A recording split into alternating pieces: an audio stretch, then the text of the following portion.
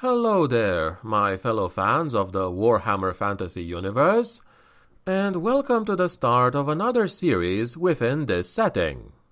Last time, I asked you guys what you would like me to cover next, and after counting all the votes, as few as they were, you guys decided this topic is gonna be Bretonnia. Now, Bretonnia isn't another race like the dwarves or the elves, but it is a lore rich and very unique faction, comparable in complexity with the Empire itself. In today's video, I'm gonna give you a brief overview of what these folks are all about, as well as talk about its ancient history and how the country became unified. One note I would like to make before beginning and this will concern all my Bretonnia videos, is the fact that its lore is at least partially inspired by the French Dark Ages. Thus, most of the names are French sounding. My French is rather poor, so I would like to humbly apologize in advance for butchering any of these names. I am your host, the Grimdark Narrator, and without further ado, let us learn more about Bretonnia shall we? The Kingdom of Bretonnia is a highly chivalrous feudal kingdom that lies between the lands of the Grey Mountains and the Great Ocean. Bretonnia is second in size only to the Empire of Man, which is both their chief rival and closest ally.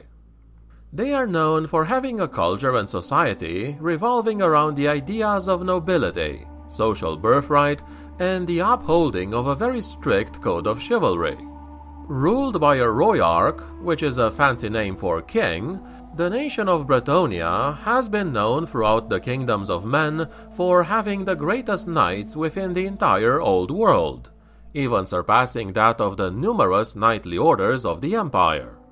A proud and honorable kingdom, the warriors of Bretonnia are comprised mostly of knights and noblemen, who ride into battle with lance, horse, and sword, seeking out glories and rooting out injustice wherever they go.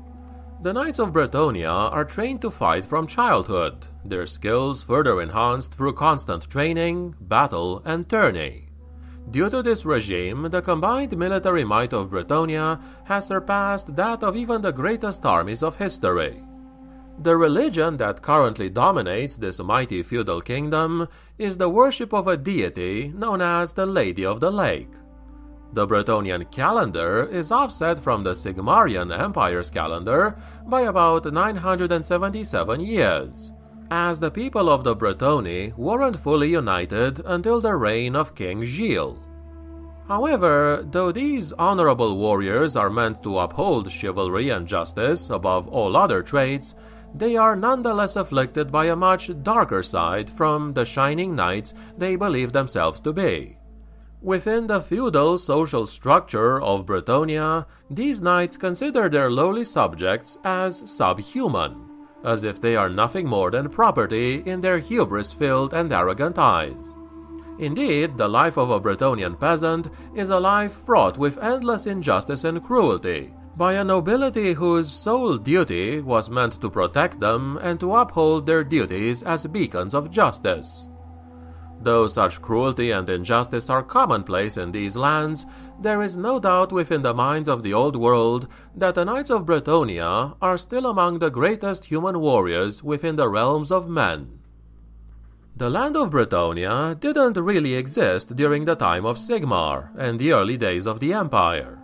Indeed, many centuries passed before a great and noble knight united the highly independent and prideful Bretonni tribes in the same way Sigmar had with the birth of the empire. The early days of Bretonnian history are not well recorded, though it has been conjectured that, as within the wider world, it may have once been ruled by the cold blooded lizardmen at the dawn of the planet's creation. Long after their first great struggle to hold back the forces of chaos during the first Great Chaos Incursion, the land that would later become known as Bretonnia was settled by the High Elves of Ulthuan, this being done during the reign of the Phoenix King Bel Shanaar. These colonies survived the civil war with Malekith and the cataclysm known as the Sundering relatively unscathed but they were soon faced with the full might of the dwarves in the time known as the War of the Beard. Bretonnia was the primary battleground of that war, which lasted for around four centuries. The conflict finally ended with the death of Phoenix King Caledor II, and the subsequent capture of the Phoenix Crown by the dwarves. However, the war had so weakened the High Elves of the time that the next Phoenix King, Caradriel, ordered a withdrawal of all the elves back to Ulthuan. The few elves who refused this command retreated into the enchanted glades of Athel Loren, and over the centuries transformed into what is now known as the Wood Elves. It was around this time that the first nomadic human settlers of Bretonnia appeared. Circa 1500 years before the time of Sigmar, an agricultural tribe of people arrived on the western edge of Axbite Pass. These primitives had little knowledge of metalwork or warfare, and relied heavily on agriculture and flint weapons to survive in this harsh wilderness. These groups of humans were known to have worshipped a primordial earth elemental goddess called Rhya and erected many primitive stone circles in her honor. These stone circles were places of great natural power and were marked with symbols that remained as a foundation of the Druidic Old Faith to this day. Around 500 years later, a second wave of human migrations crossed over the World's Edge Mountains in their tens of thousands, escaping the rampages of the Greenskin threat. These new tribes were warlike, strong, and fierce, and they fought both greenskin and indigenous population alike. While most of these tribes eventually settled within the lands that would eventually become the Empire, one far ranging tribe crossed the Grey Mountains. This tribe, called the Bretonni, was to give its very name to the land they found. Like their kin within the lands of the Empire, they displaced both the Greenskins and the human Earth worshippers, thus soon becoming the dominant culture west of the Grey Mountains.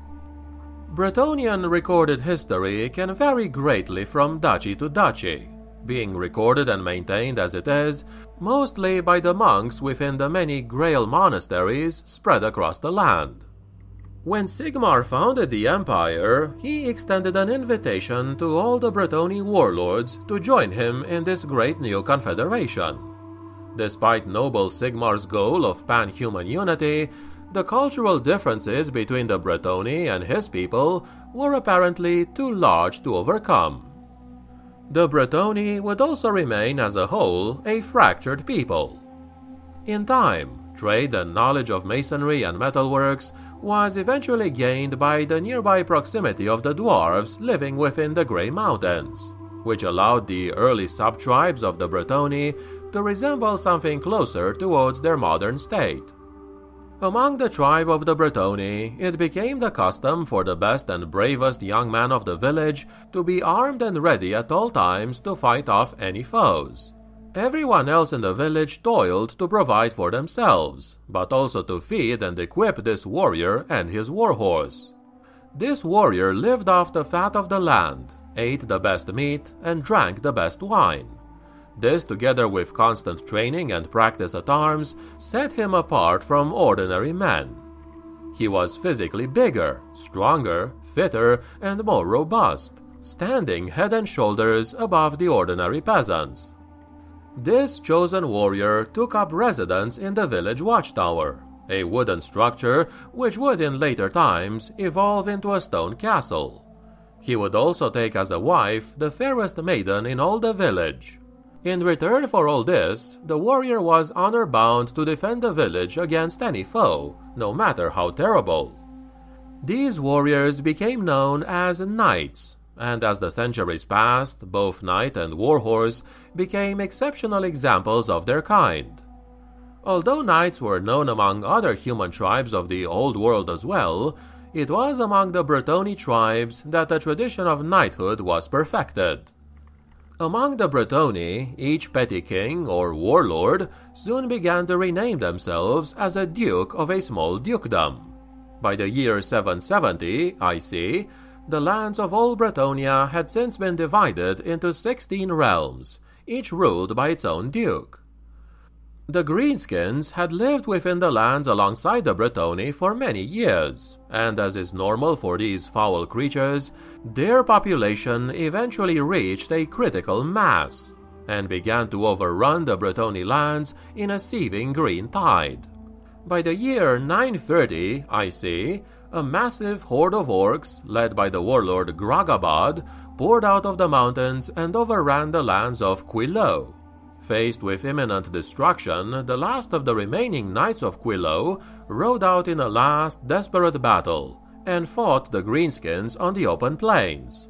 Though the orcs fell like wheat before the scythe, the last of the knights of Quillo perished to the last man. In the wake of this disaster, the armies of Quenelles and Brionne rode forth and attacked the now weakened Orc army. No sooner had the orcs begun to rout from the battlefield that the two Bretonnian armies faced each other over the rulership of the devastated land of Quillo. Fortunately, the two armies didn't have the stomach to face each other in combat, and instead, the two dukes of each kingdom fought one another in an honorable duel. By the end, the Lord of Brionne was struck down, and Quenelles was expanded. It is said that the destruction of Quillo marked the beginning of the wars which would culminate in the unification of the whole kingdom. By the year 932 IC, Balduin, the newly stated young Duke of Brionne, led his armies to victory after defeating the remaining hordes of Gragabad and slaying the warlord in single combat. In the battle, Gragabad's great axe became lodged fast in Balduin's shield, and the Lord fought the entire battle with the axe in place. Afterwards, the axe was adopted as the symbol of Brionne in memory of this event. This victory didn't stop the orcs, however, and around 948 IC, the northern lands of Bretonnia were engulfed by waves of enemy armies. Northern raiders from the frigid shores of Norsca burned the coastlines of Lyonesse and Couronne, while beastmen warherds poured forth in ridiculous numbers from the dark woodlands of Ardennes. Beset by three enemy invasions, the Bretonni of the northern lands were forced to relinquish all they once ruled, hiding behind their stout walls while the enemy roamed across their lands at will. To the south and east, restless goblin tribes came down from their homes within the Grey Mountains, pillaging and burning their way through the dukedoms of Quenelles and Bastonne. By 974 IC, Orc tribes once again poured from the mountains and forests in numbers never before seen. Cut off from any aid, the once ancient dukedom of Glanborielle was utterly destroyed. In response, the Bretonni knights rose up against the onslaught of the Greenskins, charging headlong towards the many battlefields that were springing up all across the realm. However, the lords of each dukedom didn't take the time to properly gather their knights into a single unified force. Outnumbered and surrounded, these scattered bands of knights were soon overwhelmed by the superior numbers of the orcs. With the enemies of man amassing all around them, the remaining dukes had all but lost their hopes. But, as is typical in these tales, there was one duke in this dark time who didn't give way to despair and was determined to unite all the people into a single strong nation. This ancient and legendary uniter was Duke Gilles Le Breton, the newly crowned Duke of Bastonne, the famous knight who personally killed the red worm Smearghus deep within the forest of Chalone. Gilles rallied first Duke Thierulf de Lyonesse, and then his greatest and most loyal friend, Duke Landuin de Musillon, under his crusading banner. But even these free men and their combined army found themselves outmatched and facing certain annihilation. This inexperienced and badly battered Bretonni army then encamped themselves beside a lake. Upon the morrow, they felt certain to face doom upon the field of battle, with the war drums of the Orc Waaagh allowing them neither rest nor sleep.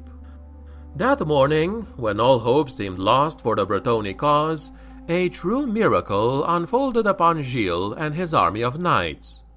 As he knelt before the lakeside to drink of its pure waters and pray for strength, an ethereal and heavenly beautiful woman arose out of the mist, leaving the Bretonni army aghast and afraid.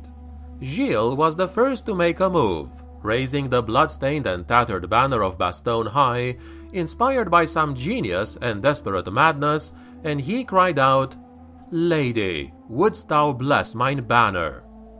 He then dipped it into the lake at the lady's feet. When he drew it forth and raised it high so that all could see, it was dry and fully restored, only now emblazoned with the glowing icon of a golden grail. The other dukes and knights then scrambled to follow his example, asking the lady to bless their swords, lances, and war horses for the coming battle. Finally, the lady held forth a large gilded chalice overflowing with light, giving it first to Gilles and then to his companions to drink from and gain the strength needed to achieve victory. These three men became the very first Grail Knights, and fighting under the banner of the Lady of the Lake, the Bretonni gained the courage to face the Greenskins upon the plains. Then the dirge of the approaching army was heard from all sides, fouling the air with their war cries and drumming. The knights hurriedly took their weapons and mounted their horses. They gathered in a battle line around Gilles and the magic banner. The orc horde darkened the horizon ahead of the Bretonnian knights. Steadily and without flinching, they rode on as the arrows dropped around them. Then the moment came to charge, and the knights plunged into the midst of the orc horde. The first ranks of the enemy crumbled before them, and the entire horde reeled like some great beast pierced by the hunter's lance. All around them the enemy began to scatter in flight, and as the sun began to set, the knights ceased their pursuit and rode back to the sacred lake. Here they gathered once again and rested, as the rooks and ravens descended to feast on the Orcish army. All the dukes and knights gathered around Gilles, and together they vowed to serve and honor the Lady of the Lake. They also vowed to stay together as an army and free Bretonnia from the orcs and all their enemies. Gilles was proclaimed leader of battles, with the authority to command the army and the entire resources of all the dukedoms until Bretonnia was free. This moment was the origin of the Grail Knights, but also the Kingdom of Bretonnia. In the years which followed, under the banner of the Lady of the Lake, Gilles led his Grail Knights from victory to victory throughout the length and breadth of Bretonnia. And this, my friends, has been what I wanted to tell you about Bretonnia and its history for today. In the next episode, like I've been doing so far, I'll probably continue talking about its history before starting another race or faction. Was this video entertaining or informative? In that case, please consider clicking the like button and subscribing for future content. And if you'd like to help me keep making these videos, especially since my fantasy videos get the fewest views, please go check my Patreon page, the link for which is in the video description. I thank you kindly for watching to the end, and I wish you all a peaceful day. The lady's blessings be upon you.